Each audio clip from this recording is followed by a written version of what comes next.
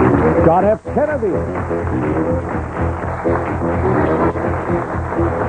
And Quince Orchard meet today in a first round match on It's Academic. Hello, everybody. I'm Mac McGarry. Here's the opening round. Each team begins with 100 points 10 up for a right answer, 10 off for a wrong answer. In this round, the contestants here in the studio do not see the writing on their screens that you do at home. The team whose light is on first has a chance to answer. I hope you're not squeamish because these questions are all about blood. Identify the following people and things all connected in some way with blood. Number one, most Americans are in this positive blood group. Art Kennedy. AB. No, it's O. I'm sorry, 10 down. Next. This African American doctor set up our first blood banks. JFK.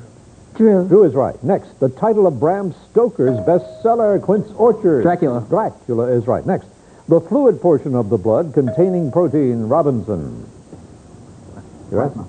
Say again. Plasma. That's right. Next. The bloodless revolution of 1688 put this couple, all right, uh, Quince Orchard. William and Mary. William and Mary is right. Next, sphygmomanometer measures uh, Robinson. Blood pressure. Blood pressure is right. Next, fairy tale character who said, I smell the blood of an Englishman, Quince Orchard. The giant. The giant. Giant is right. Next, his nickname was Old Blood and Guts. All right, Robinson.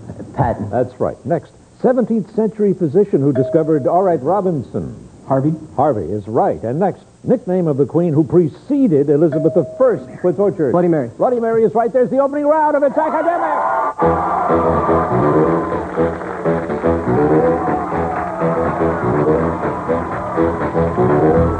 It's Academic.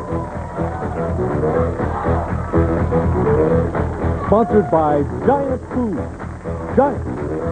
Quality. Value. Service. That's Giant. Your place to save.